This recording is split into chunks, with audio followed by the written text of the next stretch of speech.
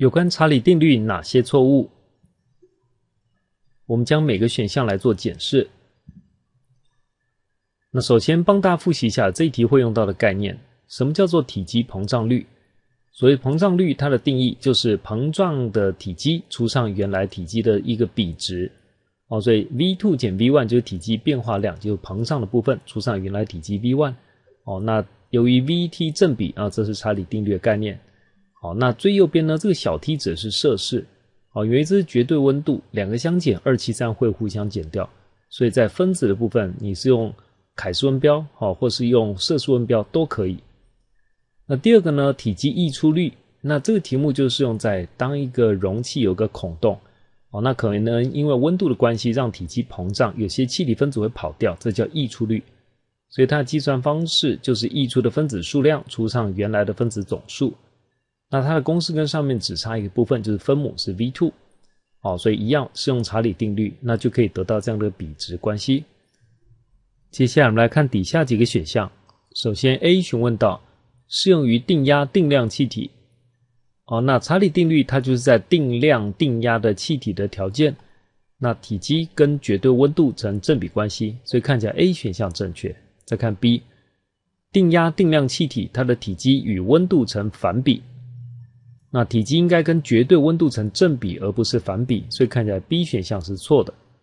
哦，接下来 C、注意都是跟它的体积、温度的一个膨胀的概念。哦，所以再复习一下，定量气体在定压条件，温度由 T1 升到 T2 的时候，那体积膨胀率的定义呢，就是它的体积变化除上原来的体积，啊，这是体积膨胀率的定义计算。再来体积溢出率，它定义的计算方式，那分母不一样，它是 V2。哦，所以后面就是跟它温度的对应。接下来我们看到 C，定压定量气体温度每上升一度 C，体积增加零度 C 时候体积的二七三分之一。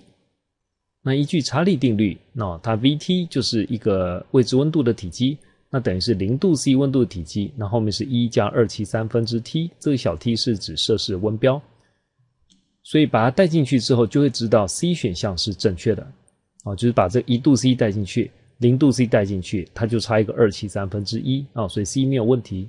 再看猪，定压定量气体温度由二十七上升到二十八度 C 时，体积增加二七度 C 体积的二七三分之一。那二十七到二十八度的时候呢，它体积应该是增加二十七度 C 时候体积的分母呢是二七三加二十七，这就是它的一个克氏温标。哦，那它的温度变化在分子。哦，所以这样就是应该是三百分之一，所以看起来猪选项也是不对的。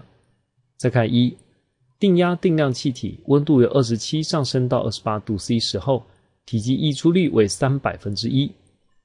那溢出率呢？那分母就是应该是后来的温度，所以二十八加二七三。好，分子的部分是温度变化值，所以应该是三零一分之一，不是三百。所以看起来一选项也是错的。